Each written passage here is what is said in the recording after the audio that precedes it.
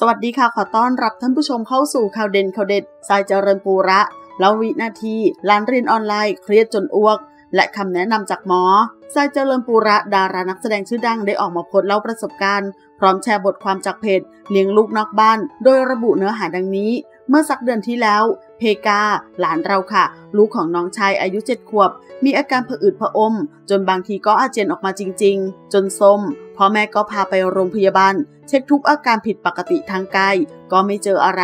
ไม่เป็นหวัดร่างกายแข็งแรงปกติ เราเลยคุยกับน้องชายว่าอาการแบบนี้ เราเคยเป็นตอนป .3 ป .4 ไปโรงเรียนแล้วอาเจียนเนี่ย มันเป็นความเครียด คือเราทำการบ้านไม่เสร็จค่ะ พอไม่เสร็จก็ไม่รู้จะรับมือยังไง เลยทิ้งไว้ที่โรงเรียน กลับมาบ้านแม่ถามก็บอกว่าอยู่โรงเรียน พอไปโรงเรียนครูถามก็บอกว่าอยู่ที่บ้าน สลับไปสลับมาแบบนี้ จนการบ้านมันเยอะขึ้นทำไม่ทันแล้วมันเครียด จนสุดท้ายความแตก ครูเรียกแม่ไปคุย แม่เลยถามว่าการบ้านอะไร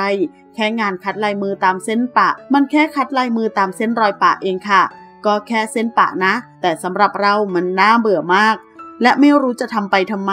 ลายมือเราก็ไม่ใช่แบบนั้น คัดเส้นก็เท่านั้น เลยไม่ทำเอาดื้อสุดท้ายพอแม่รู้ก็เลยลากมาทำจนจบ จบแล้วก็หาย มันเหมือนมันเครียดไปเอง เพกาไปหาหมอแล้วหมอก็ถามว่าทำอะไรบ้าง ตอนนี้เพกา ตอนนี้เพต้องเรียนออนไลน์ อาทิตย์ละ 5 วัน วันละ 7 ชั่วโมง มีพักบ้างนะคะ แต่ก็คือต้องเรียนตามกติกาโรงเรียนพ่อแม่ก็ผลัดกันนั่งเฝ้า การบ้านก็ต้องทำทั้งเป็นคลิปเป็น paper หมอถามว่าคุณพ่อคุณแม่เครียดไหม น้องเราก็ยอมรับว่าเครียดแหละ ให้มานั่งเฝ้าจนกว่าจะจบวัน กว่าจะเข็นกันไปกินข้าวอาบน้ำนั่งหน้าจอนนานๆ พ่อก็เบื่อลูกก็เบื่อ เวลาจะทำอะไรช่วงระหว่างวันก็หายไป สุดท้ายอาการมันก็สะท้อนออกมา หมอบอกเพก็เครียดนะ กลัวเป็นเด็กไม่ดี กลัวพ่อแม่เสียใจ แต่เพก็รู้ว่านี่คือสิ่งที่ต้องทำ ควรทำพ่อแม่ก็บอกให้ตั้งใจ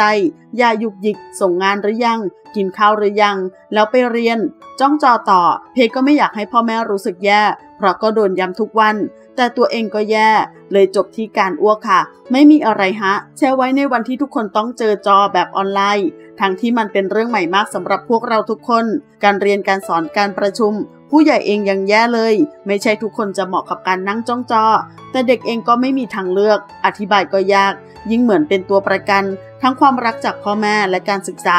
มันก็เลยพากันตึงไปหมด ลูกเรียนคนเดียวก็เครียดไปทั้งบ้าน อ๋อ หมอบอกว่าถ้าเป็นไปได้ คุณพ่อคุณแม่ลองให้เพย์หยุดบ้างดีไหม หยุดเพราะพอแล้ว ไม่ต้องอ้างเหตุผลอะไร